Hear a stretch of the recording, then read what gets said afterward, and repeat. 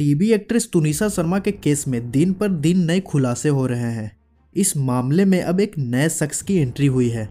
आपको बता दें कि तुनिसा ने बीते साल 24 दिसंबर को टीवी शो अली बाबा के सेट पर अपनी जान गंवा दी। तुनिसा की मौत के बाद एक्ट्रेस की माँ विनीता शर्मा ने सीजान पर उसकाने का आरोप लगाया था। इसके बाद पुलिस ने कार्रवाई करते हुए सीजान को गिरफ़्तार कर लिया था। इस मामले में तुनिसा को लेकर कई खुलासे हुए हैं।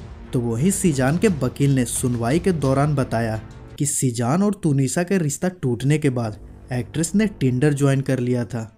इसके बाद उनकी बातचीत अली नाम के एक शख्स से शुरू हो गई थी। सीजान के वकील ने दावा किया कि तुनिसा उनके साथ डेट पर भी गई थी। इसके अलावा उन्होंने कहा कि 21 से 23 दिसंबर के बीच तुनिसा ने अली से बात भी की थी। वकील के मुताबिक 23 दिसंबर को तुनिसा ने अली के फ़ोन से अपनी माँ को वीडियो कॉल भी किया था। तुनिसा के चाहने वाले को इंतज़ार है कि तुनिसा को न्याय मिल सके। तुनिसा शर्मा के इस कदम पर आपकी क्या राय है? अपनी राय हमें कमेंट कर ज़रूर बताएँ और ऐसे ही अपडेट के लिए सब्सक्राइब करें हमारे चैनल को।